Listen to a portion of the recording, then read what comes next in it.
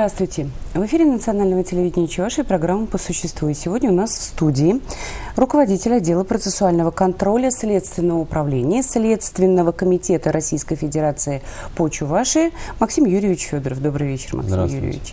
Максим Юрьевич, Следственному комитету как самостоятельному правоохранительному органу в январе исполнилось всего на всего 4 года. Но в этом году опять произошли э, такие структурные изменения. В частности, появились новые отделы по расследованию резонансных преступлений против личности и общественной безопасности и преступлений против государственной власти в сфере экономики. Насколько эти отделы загружены делами? И о каких делах, э, каких резонансных преступлениях вы уже можете сказать, как о законченных следствием? Э, действительно, в текущем году, в январе, произошли определенные организационно-штатные изменения в структуре следственного управления. На базе отдела по расследованию особо важных дел э, образовано два отдела по расследованию преступлений отдельной категории. Э, на базе следственного отдела по городу Чебоксары в соответствии с административно-территориальным делением города образовано три отдела, соответственно, следственные отделы по Московскому, по Ленинскому и по Калининскому районам – города Чебоксары. Мы надеемся, что эти организационно-штатные изменения позволят увеличить эффективность нашей следственной работы. Э, относительно второй части вашего вопроса, э, в среднем ежемесячная нагрузка на следователя следственного управления составляет 3-4 уголовных дела, находившихся в производстве, и 10-11 материалов. Э, однозначно оценить нагрузку по конкретным делам и материалам невозможно, потому что каждое преступление индивидуально, затраты сил и времени на, кажд... на расследование каждого уголовного дела определяется характером совершенного преступления. Эм, соответственно, ряд уголовных дел, по которым проводятся сотнями допросы потерпевших и свидетелей, а также назначаются десятки сложных судебных экспертиз, естественно, отличаются от других уголовных дел. Кстати, вот таких дел много в вашей практике? Таких дел достаточно. Они обычно вызваны значительным количеством а потерпевших по уголовным делам, допустим, это невыплата заработной платы, э, уголовные дела, совершенные в условиях неочевидности при отсутствии свидетелей и очевидцев, э, при которых приходится затрачивать огромные силы на анализ информации, на установление возможных очевидцев, э, отработки многих-многих факторов, которые могут привести к получению доказательств по уголовному делу. А, таким образом, можно констатировать о том, что нагрузка не снижается по расследованным уголовным делам и материалам проверок, и э, следователи трудятся в интенсивном режиме. Ну, вот о каких делах, таких наиболее резонансных, если уж мы заговорили именно об этой категории преступлений? Можно уже... ну, среди уголовных дел, которые э, окончены производством и по которым лица представили перед судом, э, можно отметить уголовные дела э, по обвинению э, главы Маринско-Посадского, администрации Маринско-Посадского района, э, Маргаушского района, э, города Алатырь, которым предъявлялось обвинение в совершении ряда коррупционных преступлений. А также уголовное дело возбуждено в отношении директора Канарского филиала Чувашского государственного университета.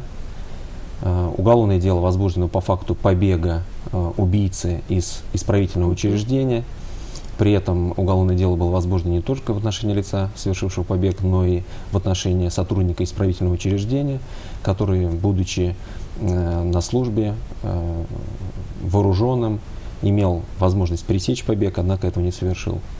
Также большой общественный резонанс вызвало уголовное дело э, по обвинению одной из жительниц города Чебоксары, которая убила свою крестницу, поместив в картонную коробку.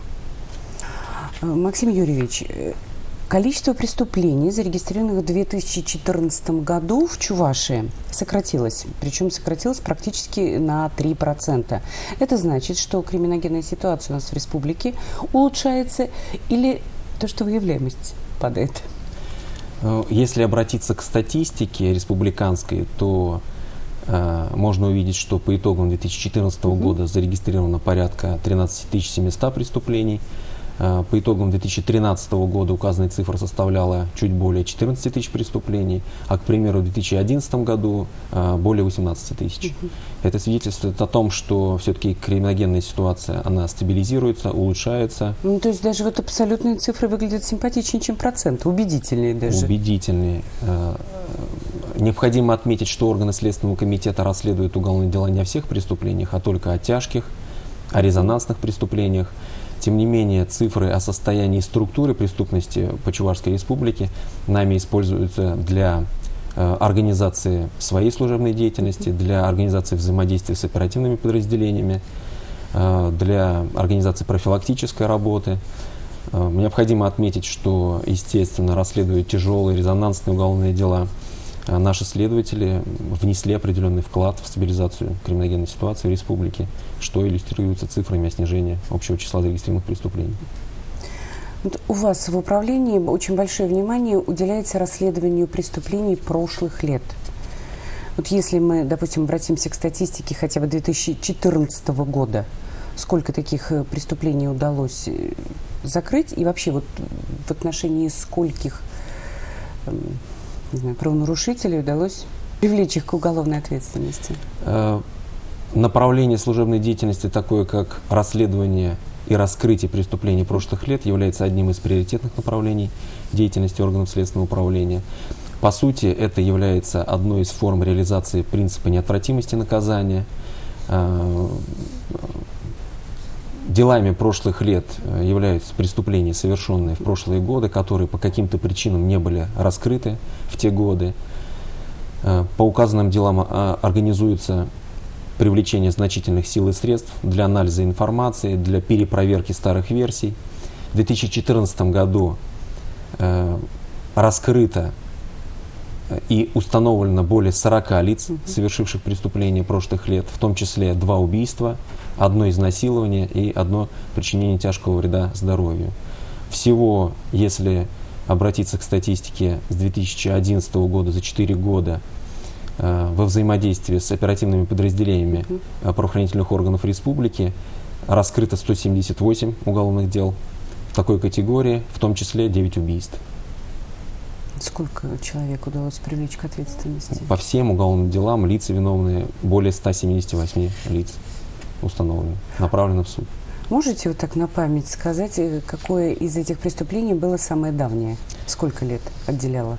Э, наверное, таким примером может быть уголовное дело, э, по которому в истекшем году к 16 годам лишения свободы приговорен житель города Чебоксар, который в 2009 году угу. с целью завладения деньгами вырученными от продажи акций одной из компаний, убил своего знакомого, тоже жителя города Чебоксар, на территории Ядринского района. Труп спрятал в лесах Ядринского района. Э, те незначительные ниточки, которые могли свидетельствовать о лице, совершившем преступление, следователям были найдены.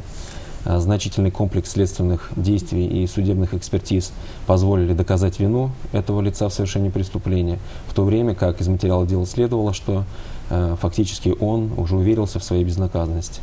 Максим Юрьевич, в отчетах о работе вашего управления есть раздел, касающийся расследования уголовных дел в отношении лиц особого правового статуса. Кто подразумевается под этими лицами и сколько людей этого самого статуса лишились благодаря вмешательству ваших сотрудников? Э, лицами особого правового статуса уголовно процессуальным законодательством э, называются, обеспечиваются должностные лица, связанные с э, осуществлением компетенций органов государственной власти и местного самоуправления. Это такие лица, как э, депутаты и иные выбранные должностные лица органов местного самоуправления, э, адвокаты, следователи, судьи, прокуроры. Э, в отношении указанных лиц определенные дополнительные гарантии предусмотрены уголовным процессуальным законодательством, в значительной мере усложнена процедура возбуждения уголовного дела, предъявления обвинения таким лицам, э, производство иных ряда процессуальных э, действий. Однако это не говорит о том, что указанные лица относятся к определенной касте неприкосновенных. Особый правовой статус определяется спецификой осуществляемой этими лицами деятельности, в частности, приданием особого правового статуса является одной из форм обеспечения дополнительных гарантий их э, невмешательства в их деятельность, их независимости в профессиональной деятельности от необоснованного уголовного преследования. К примеру, э, чтобы возбудить уголовное дело в отношении депутата органа местного самоуправления, требуется решение руководителя следственного управления по субъекту Российской Федерации.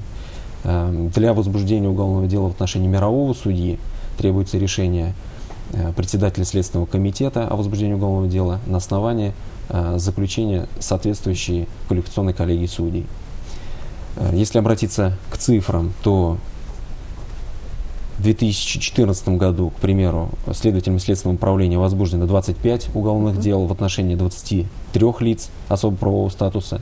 В суды направлены 16 уголовных дел в отношении 16 лиц, а, в основном за совершение коррупционных преступлений. Остальные дела находятся в производстве. А, ну, что касается вопроса о лишении неприкосновенности, то компетенции органов Следственного комитета указанный вопрос не отнесен. Э, указанный вопрос рассматривается лишь после вступления в законную силу приговора суда, э, который э, может признать лицо виновным в совершении преступления. Основания и процедура лишения статуса соответственно, иммунитета предусмотрены федеральным законодательством и осуществляется соответствующими компетентными органами. Статистику органы Следственного комитета не ведут, поэтому сказать о конкретном количестве лишенных статуса я вам не могу. А, однозначно можно а, заявить о том, что каждое лицо, осужденное за совершение преступления, имеющее статус, оно лишается его. Максим Юрьевич, ну вы же ориентируетесь на показатели, которые есть в работе аналогичных управлений в других регионах. Хорошо, не будем говорить о, конкретно о лицах, лишенных статуса. Давайте ориентироваться на количество дел. По сравнению с остальными регионами, ну, допустим, по Волжье, в нашей республике э, как обстоят дела? Вот 25 э, уголовных дел за год – это много или мало? Это в среднем э, показатель, средний показатель Приволжского федерального округа.